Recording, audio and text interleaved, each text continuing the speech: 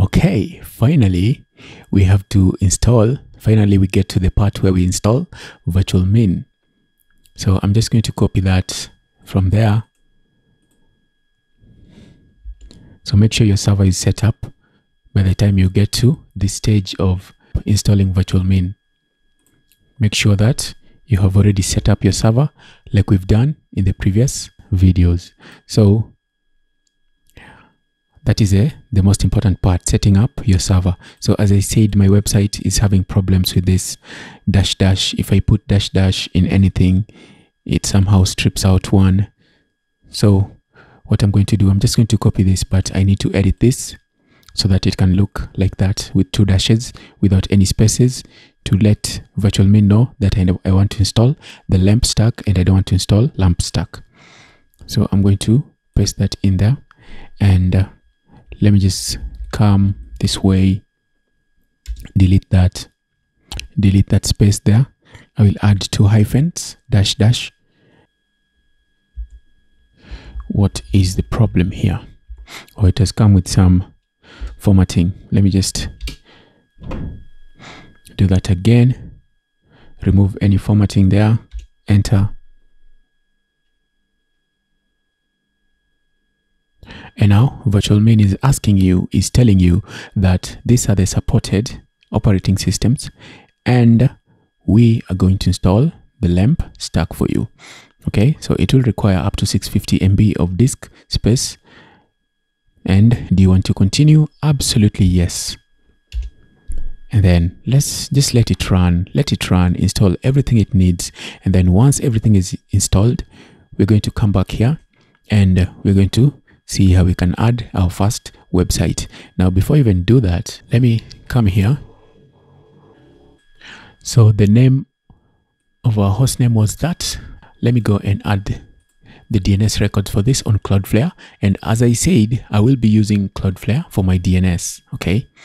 So I will add an A record, paste that in there with my IP address. So if you don't use Cloudflare for your for your DNS, I don't know, maybe just look through my videos. There's a video I did about how you can create child domains.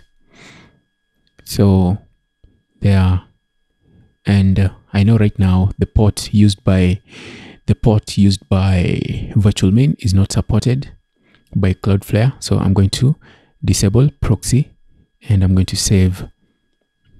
And I want to do the same for, and let me add a CNAME record for www so I will add a CNAME record for www www dot panel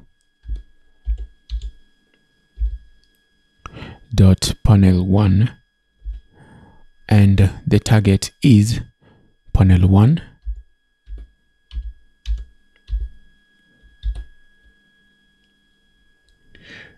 Dot I don't know whether I can add that. Is it possible to add that? Yeah, let's see if this is going to give me. And I will unproxy that. Save. And yeah, you can see it as automatic. So you can use art to replace the domain name anywhere. Instead of typing the domain name, just type art and it's going to get replaced with that with the domain name. So panel one, we've added that. And for this one as well, let's change the IP address because I see I was using it for a different tutorial at some point and this IP address is no longer available. So I'm just going to paste in the new IP address for a record and I'm going to install WordPress here. I'm going to show you how you can install WordPress on that. And www instead of using uh instead of using an A record for www, let me just use let me use a CNAME record so for www, let me add a CNAME record, CNAME for www, and the target is at. And that can be proxied because it will be accessible via the Cloudflare network. So these ones, I was probably using this for a different tutorial. So let me just delete them. JavaScript sample. I will delete the sample this I was using for a different tutorial. This one as well I was using for a different tutorial. So I'm just going to delete both of that. Now is there anything else that I need to add here? There we have that. And you know what? I can also add mail. Let me add mail. Mail is it an a mx we already have that. So I think mail will just use this. It will automatically get get added here. Okay. Now the reason that I have chosen to install the reason that I, I've chosen to install bind which is used for DNS is because it will automatically create some of these records for me. And if those records are created I can just copy them. Okay. If I ever need anything I can just copy them from there. Let's just wait for it to finish installing and then we're going to try and access we're going to try and access it for now. I've, I've already changed the the IP address to reflect. Let's just see if Nginx is already installed and set up. So you can see Nginx is already installed on our server. Let's just wait for it to finish installing and then we're going to log into Virtualmin and then you'll we'll see how to do the initial initial setup. So this is a part that is very important. If you paused and you didn't watch this part about DNS, make sure you watch it because this is how you'll make sure that your website is accessible on the internet. So I'm using Cloudflare, but you can use any DNS provider just in a similar way. Just add an A record for your website with your IP address and for your panel, add the address there. If you want to be able to access this and you want to create a let's encrypt SSL. Make sure you add www and you add you add that record for that, a record for that as well. So you can also change the port. I'm going to change the port to something that is accessible via Cloudflare. And once I do that, you'll see that we can come in here and we can proxy it. For now, we won't be able to proxy any any traffic through this because Cloudflare doesn't support the port that Virtualmin uses so let's come back and just give it time okay so you can see installation is complete everything is accessible so since I've already added the DNS records for this, I can access it using this. However, if you haven't added the DNS records, you can access Virtualmin directly using your IP address. So I can access it using I can access it using this link because I've added the I've added the DNS records on Cloudflare. So if I come back here, I can just go to that site and it should give me that warning okay? And this is just because that because this is a self self-signed certificate. So i'm going to continue. So you can log in using any of the root users that you have on your server. And you do remember that we did set up a user called new user and that's the one i'm going to log in as. New user. You can also log in using root with with the credentials you got from here. So i'm going to log in as new user and uh, the password was let me see.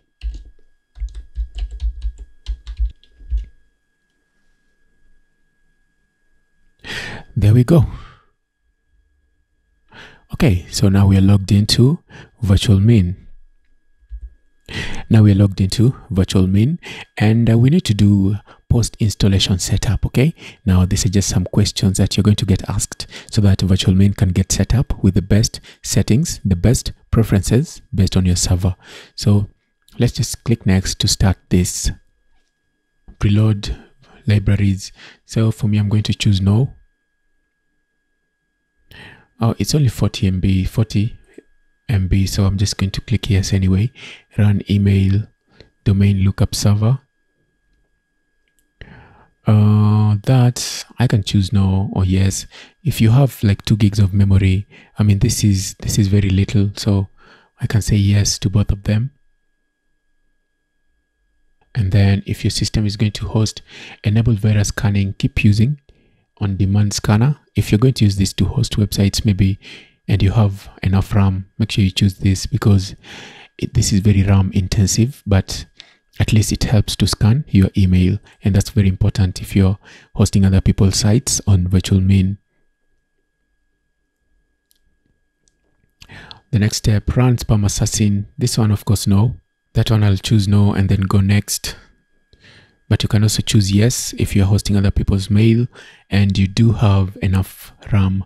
Run MySQL database server, absolutely, and run Postgres. No, I don't want to run Postgres. I just need my SQL, MySQL. And once I do that, okay, now we can set the MySQL password. So let me just copy this. You never know where you might need this. So this is a MySQL password for the root user. I will click next. Let me put that in here. You never know when you'll use it. Copy it somewhere and save it. Okay, so what next here? MySQL is configured. MySQL configuration size. So I'll just choose small system. I'll choose a small system, but if you do have a lot of uh, sites, especially WordPress, a big WordPress website, WooCommerce, you probably need to go with huge system. This is going to optimize my MySQL for you. Okay. So for me, I'm just going to leave that, but uh, let me choose default. I don't know which one's, which one is default, but I'll just leave it as default and then I'll go next for DNS zones, primary DNS. Okay, I'll choose that, but I'm not using my own website. I'm not using my own name servers. So it doesn't really matter because I'm using Cloudflare. So for this, I'm just going to leave it as it is, and then I'm going to click next. And then what else remains? Password storage mode. Of course, I want my passwords to be to be encrypted, to be hashed. So I'm going to select that one make sure you read this carefully before you choose you make a choice set up default virtual server yes i want this to be my default virtual server and then yes with let's encrypt so that's why i added the dns record for ww and dns records for ww panel and panel okay this to make sure you add the dns records for these two because if you don't have those records you won't be able to set up ssl and you won't even be able to log in on your server like that so let's go next and let that happen. Okay, so there we go. Everything is done. So Virtualmin post installation configuration is now complete. Let me just click next so that it can do the final checks. And then you can do this recheck and refresh, refresh configuration. Let's just see your system has which is at or above that Virtualmin is configured to set up DNS zone but this system is set up to use itself as a DNS server so I don't want to use that but it doesn't really matter because right now even if I create a new website I'm going to add the DNS records myself uh, let me just relog this and see if we still get this not secure So the first thing I want to do is, before I even go any further, the first thing I really want to do is, I want to come here under, where is it? Is it, let's see if it's under Webmin. I need to change the port. I need to change, okay, I'll do that in another, in the next video. So I don't want the video to be too long. But anyway, at this point, even if you add a new website, so just a brief, if you want to add a new website, all you have to do is you'll just need to come in here under Virtualmin and then click on create a virtual server. That's going to set up a website. So before you set up a website, make sure that you give it DNS records right there on Cloudflare. So really don't worry about the DNS thing because you're going to use Cloudflare. But as for mail, if you want to check the DNS things, the DNS settings that you need to use, uh, is it here under server configurations? Yeah, here under DNS records.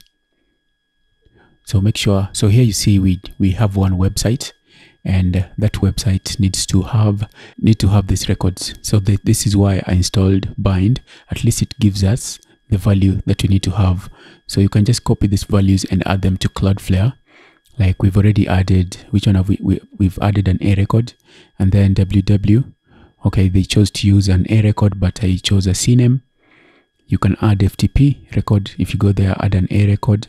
Mx record. Have we added mx i don't think i've added mx I can add MX if you want to send mail with this. If you want mail to be sent, make sure you add an MX record. Let me just do this as an example before I end the video. So I'm going to add panel one, that MX, and the record is going to be the record is going to be this copy so let's come back here and I want to add an MX record for that subdomain. So just note that it is a subdomain. So here it will be panel one. And uh, we need to add mail.